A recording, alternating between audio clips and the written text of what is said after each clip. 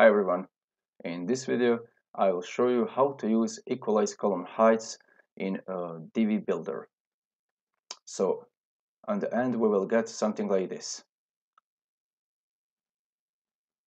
Let's say that we want to have a,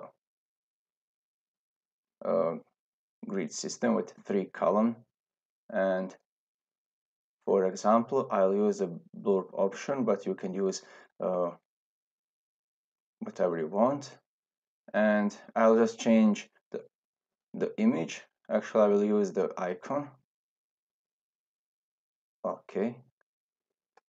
Uh, let's make some design here.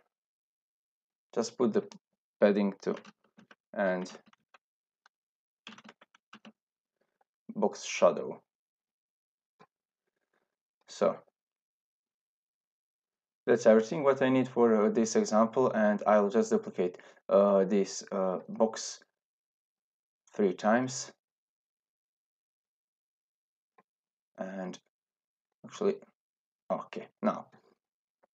But uh, usually uh, we don't have uh, we each box doesn't doesn't contain the same text and the height of the boxes are different so uh, we want to have uh, all of these boxes to have same height. So uh, let's see how can we do that uh, with uh, Divi. For example I'll just copy.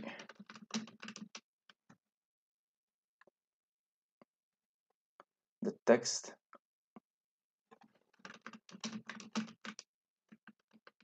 Okay. And here we are. Uh, let's use the equalize column height option.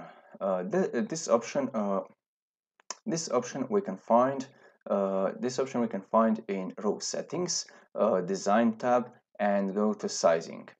Now we need to enable equalize uh, column heights, and that's a, that's everything what we need to do there. And now we need to make some custom changes uh, in CSS uh, in each item of the uh, this of the this row. So let's go to advanced custom CSS and put the put the height to 100%.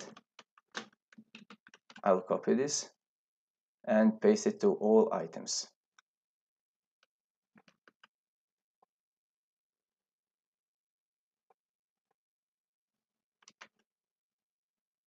Now that's all what we need to have. Let me know if you uh, have any questions, put in the comments. Thank you, bye bye, see you in the next video.